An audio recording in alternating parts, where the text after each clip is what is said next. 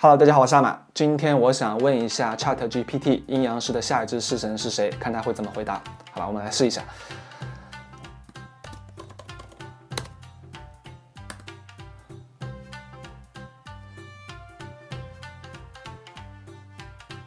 啊，这是一个非常官方的回答。他说他无法预测。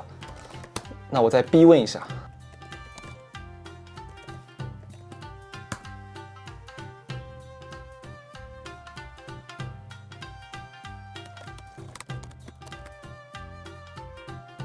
呃，这个是真的就是完全瞎猜了。那经过这样简单的测试，我们可以知道 Chat GPT 是基本上它是没有办法去预测未来的东西的，它不会给你做相关的分析。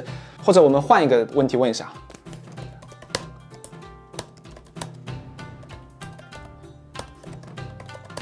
你看它还是非常谨慎的，具体时间还需要根据技术和社会进步的情况而定啊。啊，其实我昨天已经试过很多类似的问题了，就是我发现所有关于预测未来、关于未来形势分析的一些问题，Chat GPT 都会非常谨慎的去拒绝回答，或者说给出非常含糊的答案，所以说它是不会给你做预测的。既然没有办法预测未来，那么我们试一下发生在过去的一些事情啊！我想试一下现实中没有被解开的一些悬案、都市传说，比如二十多年前南大碎尸案，这是一个非常凶残但是至今未破的一个历史悬案。我们看一下 Chat GPT 有何见解。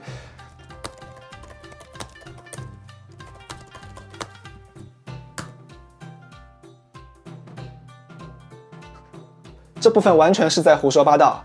时间、地点、人物完全都是对不上的，也根本就没有发生过四名女生遇害这样的事情。那可见，你问到一些在现实中其实并没有标准答案的事件的时候，他会给你胡说八道。这部分他并不是在分析案情，而是在凭空编故事。我们可以再试一下，试一下那个宁波红书包连环杀人事件，这也是一个都市传说，是真是假都不知道，也是发生在二十多年前的。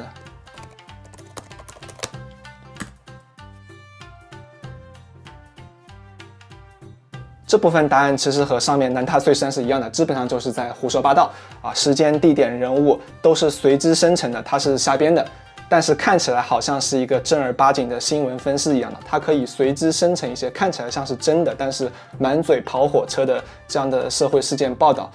如果说被滥用的话，那将来网上垃圾新闻一定会越来越多，我觉得还挺可怕的。既然一些在现实中没有标准答案的过去事件，它无法做出正确的回答，那么我们试一下有标准答案的，试一下一些现实中真实存在的历史人物，看看他是不是知道呢？请介绍一下安倍晴明啊，这个这个应该是可以的，因为这个在啊百度、维基、谷歌上都能搜到非常具体的人物介绍，看他能不能给出一个像样的答案。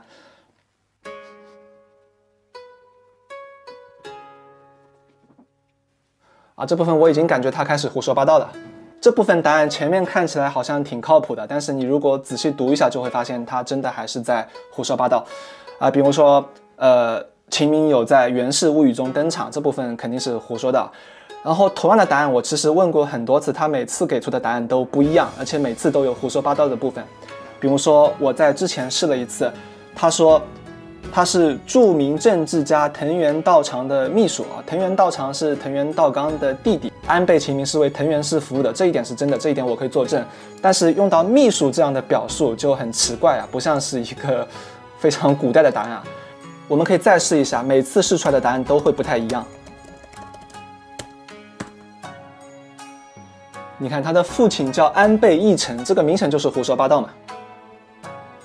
著作《百鬼夜行》这部分也是在瞎说，所以即便对于一些在百度百科、维基百科上有明确信息的内容，它也不是抓取，而是随机生成啊，看起来好像挺有道理，实际上细节都是自己瞎编的这样的一个满嘴跑火车的内容啊。因此，对于一些历史客观事实，你也不能问他，他都是会瞎说的。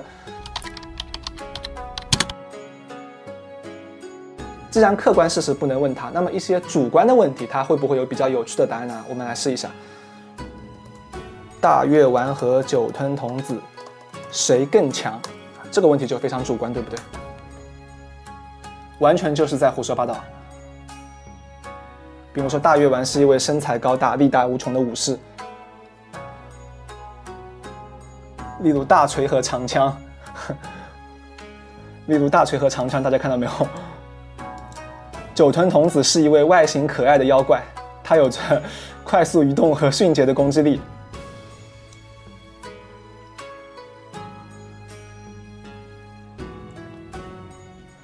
呃，这个还是一样，一本正经胡说八道，而且最后答案感觉还挺客观的，很难给出一个谁更强。如果要进行比较，需要考虑具体的战斗环境和条件。啊，你看，在一条狭小的空间里，酒吞童子可能更有优势。啊，反之，如果在一个宽敞场地中，那么大月丸会更强。这个就根本就不知道他是怎样给出这样答案的。我们再试一下。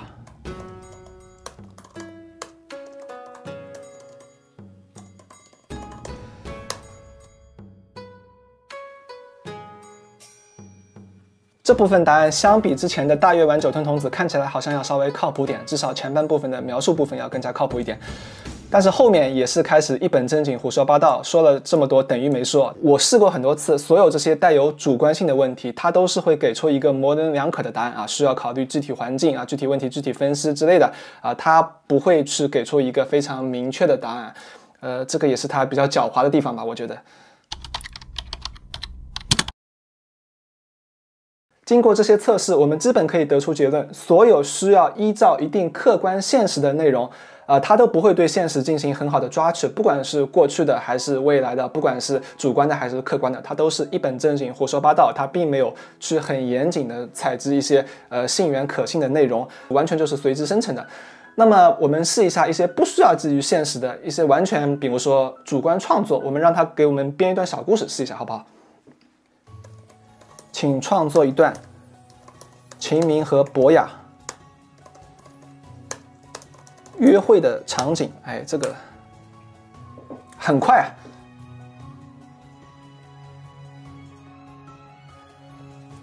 大家觉得这一段怎么样呢？是不是非常朋克的感觉？首先，我们可以知道他对秦明和博雅大概是有了解的，知道他们是日本人。你看，在神社内参观樱花园，但是时间是错乱的。穿着简约的黑色西装，啊，然后他描绘的场景其实是挺日本的啊，就是一张毯子摊开，然后坐下，大家一起享用美味的午餐。这个是怎么呢？picnic 这个在日本还是挺流行的啊。包括回到神社祈祷，呃，去参观了日本文化展，有茶道、日本刀和和式画等等啊，呃。感觉也是在一定框架内随之生成，我觉得还挺有趣的。这个我也试过很多次，你每次问他给出的答案都不一样。我们可以知道他是有一定的创作能力的啊。虽然这个故事可能思维比较混乱，但是光看语言的话，他在语法上好像是没有什么毛病啊，说明就是他脑子可能比较乱，但是他的中文表达是没有任何问题的。那我们再试一下一些邪道的问题，看看他能不能给出回答。啊，这个我只是试验而已，你不要想太多。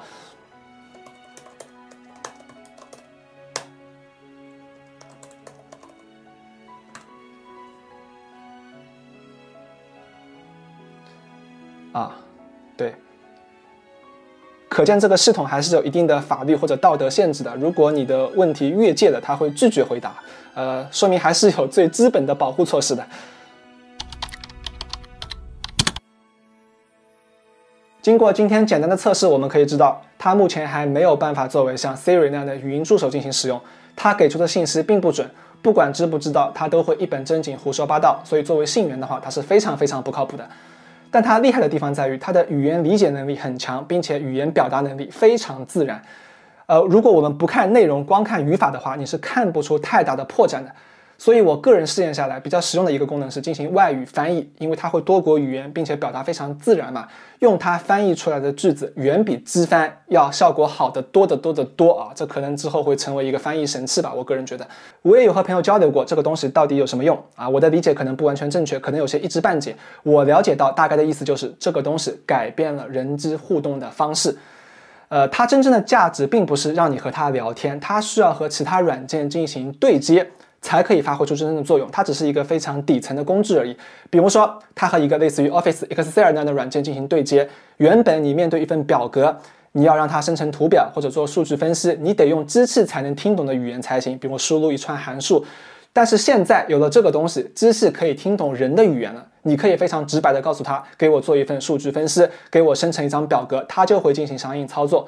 包括现在网上很多 AI 绘图也是一样，你需要的并不是知识语言，你只要直接给它下命令啊，我需要一张和吉冈里帆的结婚照，这种人类的语言，它就可以听懂，并且做出相应的操作。这个我觉得是非常可怕的。怎么说呢？